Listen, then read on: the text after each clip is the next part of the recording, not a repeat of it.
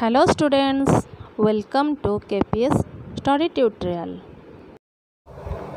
ଆମେ ଷଷ୍ଠ ଶ୍ରେଣୀ ମାନସାଙ୍କ ପ୍ରସୂନ ବହିର ପାଠ ତିନି ଗସାଗୁ ଲସାଗୁ ବିଷୟରେ ଏକ ନମ୍ବରରୁ ଦଶ ନମ୍ବର ପୂର୍ବ ଭିଡ଼ିଓରେ କରିଥିଲେ।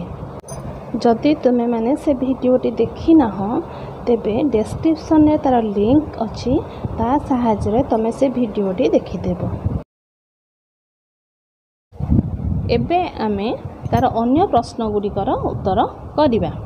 ଏଗାର ନମ୍ବର ପ୍ରଶ୍ନ କେଉଁ ବୃହତ୍ତମ ସଂଖ୍ୟା ଦ୍ୱାରା ଛପନ ପଞ୍ଚଷଠି ତେୟାଅଶୀକୁ ଭାଗ କଲେ ଭାଗଶେଷ ପ୍ରତ୍ୟେକ ସ୍ଥଳରେ ସମାନ ରହିବ? ତେଣୁ ଛପନ ପଞ୍ଚଷଠି ତେୟାଅଶୀକୁ ଭାଗ କଲେ ସମାନ ଭାଗଶେଷ ରହିବ ଏହା ପ୍ରଶ୍ନ ଅଛି। ଏଥିରୁ ଜଣାଗଲା ତେୟାଅଶୀ ଓ ପଞ୍ଚଷଠିର ଅନ୍ତର ପଞ୍ଚଷଠି ଓ ଛପନର ଅନ୍ତର ତଥା ତେୟାଅଶୀ ଓ ଛପନର ଅନ୍ତର ଦ୍ୱାରା ସଂଖ୍ୟାଟି ବିଭାଜ୍ୟ ହେବ। ତେବେ ଆମେ ତେୟାଅଶୀରୁ ପଞ୍ଚଷଠିକୁ ବିୟୋଗ କରିବା। ଅଠର ପଞ୍ଚଷଠିରୁ ଛପନକୁ ବିୟୋଗ କଲେ ନଅ ତେୟାଅଶୀରୁ ଛପନକୁ ବିୟୋଗ କଲେ ସତେଇଶ। ବର୍ତ୍ତମାନ ଆମେ ନଅ ଅଠର ଓ ସତେଇଶର ଗସାକୁ ବାହାର କରିବା। ନଅ ଅଠର ସତେଇଶର ଗସାକୁ ନଅ ଅତେ ନଅ ଦ୍ୱାରା ଛପନ ପଞ୍ଚଷଠି ତେୟାଅଶୀକୁ ଭାଗ କଲେ ପ୍ରତ୍ୟେକ ସ୍ଥଳରେ ସମାନ ଭାଗଶେଷ ରହିବ।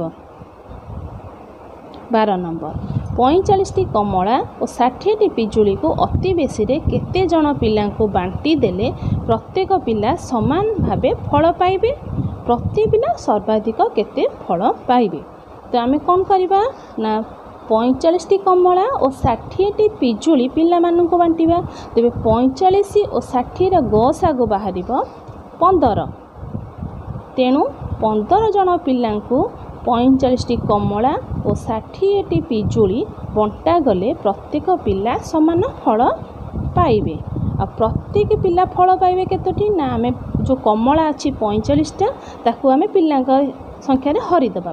ତ ପଇଁଚାଳିଶ ହରଣ ପନ୍ଦର ତିନୋଟି କମଳା। ଷାଠିଏଟି ପିଜୁଳି ଅଛି ସେଇଟାକୁ ମଧ୍ୟ ଆମେ ସେ ପିଲାଙ୍କ ସଂଖ୍ୟାରେ ହରିଦେବା। ପିଲାଙ୍କ ସଂଖ୍ୟା ଅଛି ପନ୍ଦର ତେଣୁ ଷାଠିଏଟି ପିଜୁଳି ହରଣ ପନ୍ଦର ସମାନ ଚାରିଟି ପିଜୁଳି। ପ୍ରତି ପିଲା ମୋଟ ଫଳ ପାଇବେ। ତିନି ଯୁକ୍ତ ଚାରି ସମାନ ସାତଟି ଫଳ। ଅତେ ପ୍ରତି ପିଲା ସର୍ବାଧିକ ସାତଟି ଫଳ ପାଇବେ। ତେର ନମ୍ବର କରିବା। ତିନୋଟି ପାତ୍ରରେ ଯଥାକ୍ରମେ ଛତିଶ ଲିଟର ଅଠଚାଳିଶ ଲିଟର ଓ ଷାଠିଏ ଲିଟର ପାଣି ଅଛି।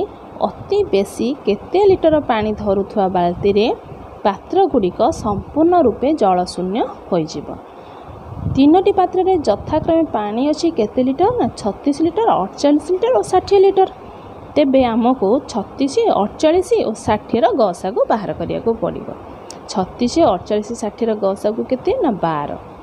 ଅତେ ଅତି ବେଶୀରେ ବାର ଲିଟର ପାଣି ଧରୁଥିବା ବାଲ୍ଟିରେ ପାତ୍ରଗୁଡ଼ିକ ସମ୍ପୂର୍ଣ୍ଣ ରୂପେ ଜଳଶୂନ୍ୟ ହୋଇଯିବ। ତେବେ ଚଉଦ ନମ୍ବର। ଗୋଟିଏ ଆୟତାକାର ପୋଖରୀର ଦୈର୍ଘ୍ୟ ଛପନ ମିଟର ଓ ପ୍ରସ୍ଥ ବୟାଳିଶ ମିଟର। ଏହାର ପରିସୀମାରେ ସର୍ବାଧିକ ଦୂରତାରେ ନଡ଼ିଆ ଗଛ ଲଗାଯାଇଛି। ତେବେ ଦୁଇଟି ଗଛ ମଧ୍ୟରେ ଦୂରତା କେତେ?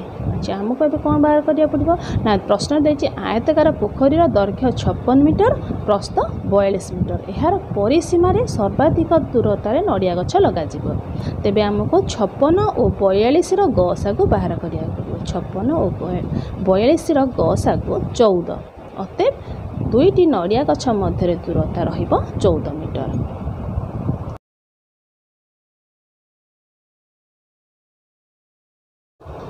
ପନ୍ଦର ନମ୍ବର। ଦୁଇଟି ସଂଖ୍ୟାର ଯୋଗଫଳ ଛତିଶ ସେମାନଙ୍କର ଗସାକୁ ତିନି। ଏହିଭଳି କେତେ ଯୋଡ଼ା ସଂଖ୍ୟା ଗଠିତ ହୋଇପାରେ? ତ ଦୁଇଟି ସଂଖ୍ୟାର ଯୋଗଫଳ ଦେଇଛି ଛତିଶ ସେମାନଙ୍କର ଗସାକୁ ତିନି। ତେବେ ଛତିଶ ହରଣ ତିନି ସମାନ ବାର। ତ ଆମକୁ ଏବେ ବାହାର କରିବାକୁ ପଡ଼ିବ ବାର କେଉଁ କେଉଁ ସଂଖ୍ୟାକୁ ଯୋଗ କଲେ ବାର ହୁଏ। ଏକ ଯୁକ୍ତ ଏଗାର ଦୁଇ ଯୁକ୍ତ ଦଶ ତିନି ଯୁକ୍ତ ନଅ ଚାରି ଯୁକ୍ତ ଆଠ ପାଞ୍ଚ ଯୁକ୍ତ ସାତ ଛଅ ଯୁକ୍ତ ଛଅ। ଏମାନଙ୍କ ମଧ୍ୟରୁ ଏକ ଯୁକ୍ତ ଏଗାର ଓ ପାଞ୍ଚ ଯୁକ୍ତ ସାତ ପରସ୍ପର ମୌଳିକ ସଂଖ୍ୟା। ତ ପରସ୍ପର ମୌଳିକ ସଂଖ୍ୟା କାହାକୁ କୁହାଯାଏ? ନା ଯେଉଁ ସଂଖ୍ୟା ଦୁଇଟିର ମାତ୍ର ଗୋଟିଏ ଗୁଣନୀୟକ ଥାଏ ଏବଂ ତାହା ହେଉଛି ଏକ। ତେଣୁ ଏଇ ଦୁଇଟି ଯୋଡ଼ା ଦେଖ ଏହାର କେବଳ ଗୋଟିଏ ଗୁଣନୀୟକ ତାହା ହେଉଛି ସାଧାରଣ ଗୁଣନୀୟକ ତାହା ହେଉଛି ଏକ। ତେବେ ସଂଖ୍ୟାଦ୍ୱୟ କ'ଣ ହେବ? ନା ଏକ ଗୁଣନ ତିନି ତିନି ଏଗାର ଗୁଣନ ତିନି ତେତିଶ। ଏଇଟା ହେଉଛି ପ୍ରଥମ ଯୋଡ଼ା ତିନି ଓ ତେତିଶକୁ ଯୋଗ କଲେ ଛତିଶ ହେବ। ସେଇଭଳି ପାଞ୍ଚ ଗୁଣନ ତିନି ପନ୍ଦର ସାତ ଗୁଣନ ତିନି ଏକୋଇଶ ଏଇଟା ହେଉଛି ଦ୍ୱିତୀୟ ଯୋଡ଼ା ପନ୍ଦର ଓ ଏକୋଇଶକୁ ଯୋଗ କଲେ ଛତିଶ ହେବ। ଅତେବ ଏହିଭଳି ଦୁଇ ଯୋଡ଼ା ସଂଖ୍ୟା ଗଠିତ ହୋଇପାରିବ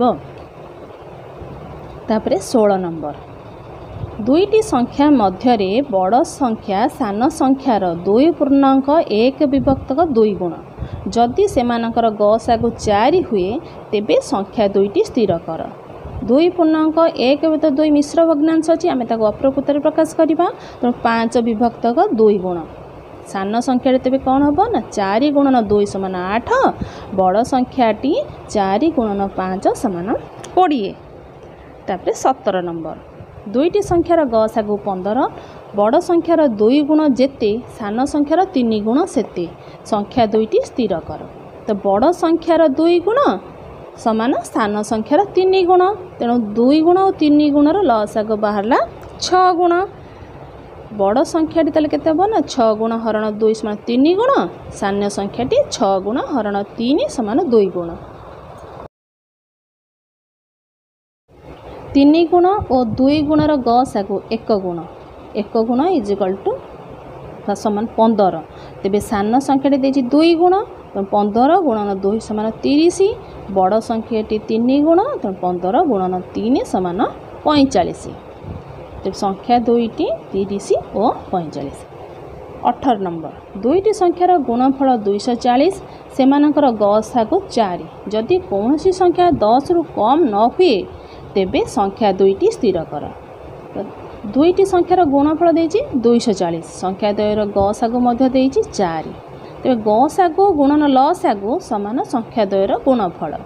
ତେବେ ଗସାଗୁ ଅଛି ଚାରି ତେଣୁ ଆମକୁ ଲସାଗୁ ବାହାର କରିବାକୁ କେମିତି ପଡ଼ିବ? ନା ଦୁଇଶହ ଚାଳିଶ ହରଣ ଚାରି ସମାନ ଷାଠିଏ। ଲସାଗୁ ହରଣ ଗସାଗୁ ସମାନ କେତେ? ନା ଷାଠିଏ ହରଣ ଚାରି ସମାନ ପନ୍ଦର। ତ ପନ୍ଦର ଆମେ କେଉଁ ସଂଖ୍ୟାକୁ ଗୁଣିଲେ ପନ୍ଦର ହେବ? ନା ଏକ ଗୁଣନ ପାଞ୍ଚ ପନ୍ଦର? ତିନି ଗୁଣନ ପାଞ୍ଚ ପନ୍ଦର।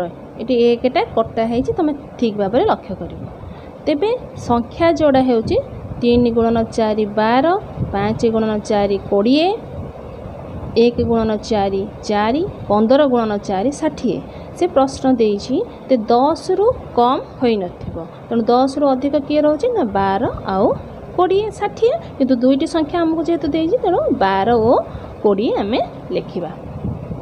ତାପରେ ଆସିବ ଉଣେଇଶ ନମ୍ବର। ଦୁଇଟି ସଂଖ୍ୟାର ଗୁଣଫଳ ତିନିଶହ କୋଡ଼ିଏ ସେମାନଙ୍କର ଗସାଗୁ ଚାରି। ଏହିପରି କେତେ ଯୋଡ଼ା ସଂଖ୍ୟା ଗଠିତ ହୋଇପାରିବ? ଦୁଇଟି ସଂଖ୍ୟାର ଗୁଣଫଳ ତିନିଶହ କୋଡ଼ିଏ ଗସାଗୁ ଚାରି। ତେବେ ଲସାଗୁ ନା ସଂଖ୍ୟା ଦ୍ୱୟର ଗୁଣଫଳ ହରଣ ଚାରି ତ ତିନିଶହ କୋଡ଼ିଏ ହରଣ ଚାରି ସମାନ ହେଲା ଅଶୀ।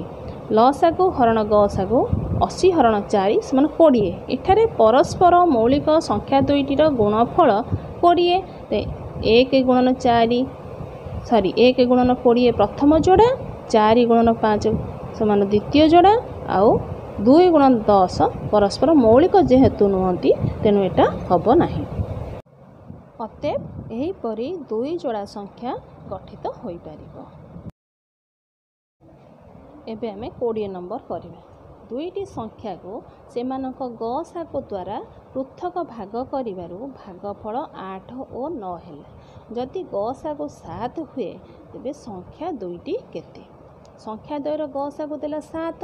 ସଂଖ୍ୟା ଦ୍ୱୟକୁ ସେମାନଙ୍କ ଗସାଗୁ ଦ୍ୱାରା ପୃଥକ ଭାଗ କରିବାରୁ ଭାଗଫଳ ଆଠ ଓ ନଅ ହୁଏ। ତେବେ ପ୍ରଥମ ସଂଖ୍ୟାଟି ଆଠ ଗୁଣନ ସାତ ଛପନ ଦ୍ୱିତୀୟ ସଂଖ୍ୟାଟି ନଅ ଗୁଣନ ସାତ ତେଷଠି। ଅତେବ ସଂଖ୍ୟା ଦୁଇଟି ଛପନ ଓ ତେଷଠି। ଯଦି ମୋ ଭିଡ଼ିଓଟି ଆପଣଙ୍କୁ ଭଲ ଲାଗିଥାଏ ତାହେଲେ ଆପଣ ମୋ ଭିଡ଼ିଓଟିକୁ ଲାଇକ୍ କରିବେ ଏବଂ ମୋର ଚ୍ୟାନେଲଟିକୁ ସବସ୍କ୍ରାଇବ୍ କରିବେ।